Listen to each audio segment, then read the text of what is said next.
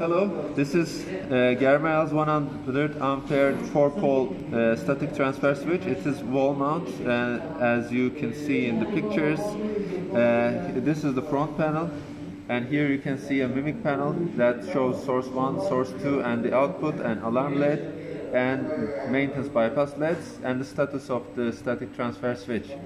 Uh, here you can see the detailed alarm list. There's a lot, there's more alarms in the LCD panel, but this list can take so much. Uh, and you can see here the blinking LEDs. Blinking LEDs means the alarm has happened in the past and now it's okay. So as you can see, pr with pressing this button and this button at the same time, resets the alarms. As you can see, the blinking LEDs has gone. Um, and there are four functional setup log records and about menus just uh, uh, you will see in the user manuals and how this those uh, menus are working.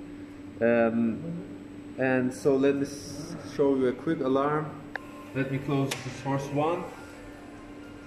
And here you can see the alarm uh, alarm LED and synchronization LED. This means the source 1 and source 2 is not synchronized because the source 1 is not available at the moment, so it cannot be synced. As you can see here, source 1 failed and source not sync alarm is shown. Tamam.